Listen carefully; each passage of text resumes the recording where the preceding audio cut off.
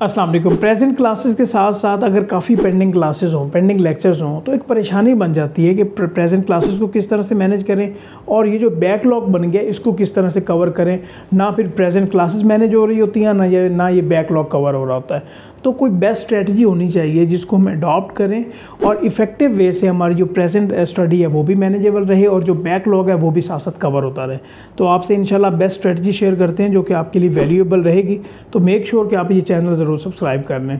आपका बैकग्राउंड चाहे ऑनलाइन है या फ़िज़िकल क्लासेस आप ले रहे हैं तो ये दोनों के लिए हम कवर कर रहे होंगे। तो इस इफ़ेक्टिव स्ट्रेटजी का जो नंबर वन पॉइंट है, वो है जी प्रेजेंट स्टडी को मैनेज करना, कि हमें ये देखना होगा, ये असेस करना होगा, जो हमारी प्रेजेंट स्टडी चल रही है प्रेजेंट क्लासेस उसको क्या हम सही तरीके से लेके चल रहे हैं।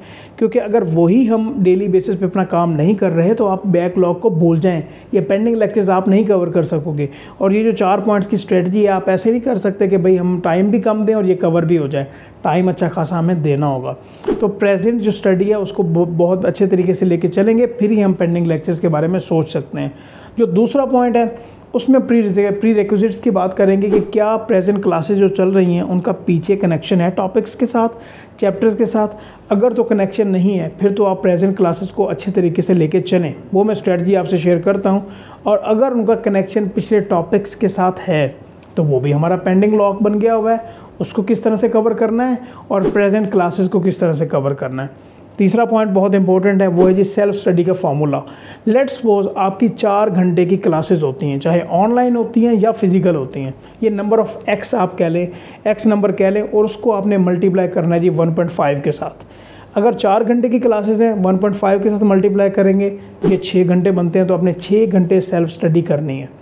इस तरह, जिस तरह आपकी क्लासेस बढ़ती जाएँगी नंबर आप वन पॉइंट फाइव के साथ मल्टीप्लाई करेंगे तो आपके पास सेल्फ स्टडी का एक फॉर्मूला आ जाएगा।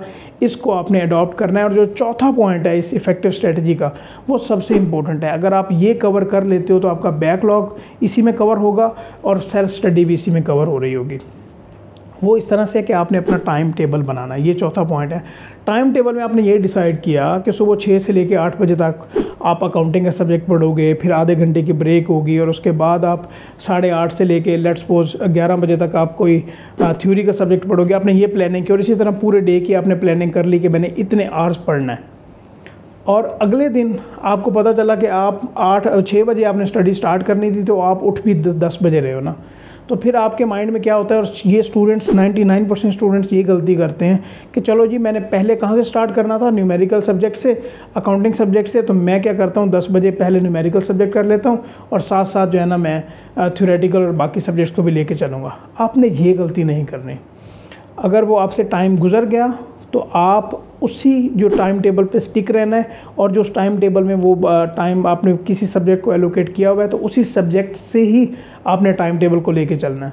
यहाँ पे आपका ये क्वेश्चन होगा कि हम किस तरह से मैनेज करेंगे लाइक जो हमसे वो टाइम मिस हो गया। तो आपकी जो ब्रेक्स हैं उसको आप शॉर्टन करें और at the end of the day अगर आप टाइम बचता है तो उस सब्जेक्ट को at the end of the day लेके जाएँ और उसको कवर करें।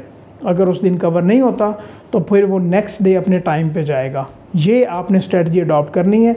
अभी बैकलॉग को और सेल्फ स्टडी को कवर किस तरह से करना है, जो प्रेजेंट हमारी क्लासेस चल रही हैं। प्रेजेंट क्लासेस का तो फार्मूला मैंने आपको क्लियर बता दिया, उसके ऊपर आप कॉम्प्रोमाइज़ नहीं कर सकते। उसके अलावा आपने बैकलॉग के लिए एक स्केजूल बनाना है, चाहे वो दो घंटे का बनाएँ, चाहे वो तीन घंटे का बनाएँ। और इसमें आपने करना क्या है? अगर आप बिल्कुल ब्लैंक हो, आपने बिल्कुल पेंडिंग लेक्चर्स नहीं लिए हुए तो फिर आप क्या करोगे? सिंपल सी बात यह है कि आपने रिकॉर्डेड कहीं से क्लासेस लेनी है, आपने उसके पास प्रैक्टिस करनी है और मोस्ट इम्पोर्टेंटली आपने उसकी रिवीजन बहुत ज़्यादा करनी है। अगर रिवीजन नहीं करेंगे तो ये आपके लिए फिर बैकलॉग बनेगा, फिर प्रेजेंट स्टडी का भी बैकलॉग बनेगा अगर रिवीजन नहीं करेंगे।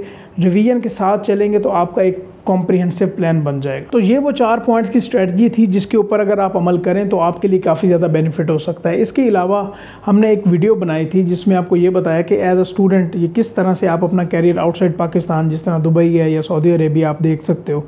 तो उसका लिंक भी आपको डिस्क्रिप्शन में मिल जाएगा तो आप वो ज़रूर देखिएगा, आपके लिए काफ़ी बेनिफिशियल होगी। एंड मोस्ट इम्पॉर्टेंटली ये जो वीडियो है अगर ये चार पॉइंट जो मैंने डिस्कस किए हैं, जिसमें नंबर वन पॉइंट आपने प्रेजेंट स्टडी को असेस करना है नंबर टू प्री रिक्वेजिट देखने हैं नंबर थ्री सेल्फ स्टडी का formula number four time management और इस टाइम मैनेजमेंट में आपने किस तरह से बैकलॉग को और प्रेजेंट स्टडी को लेकर चलना है, अगर आप इस तरह स्टिक रहेंगे तो आपका ये स्केजुअल देखिएगा किस तरह से आपको सक्सेस की तरफ़ लेके जाता है, और आपका बैकलॉग भी कवर होगा, और आपकी प्रेजेंट स्टडी भी कवर होगी। थैंक यू सो मच इंशाल्लाह नेक्स्ट वीडियो में बात करते हैं। वालेकुम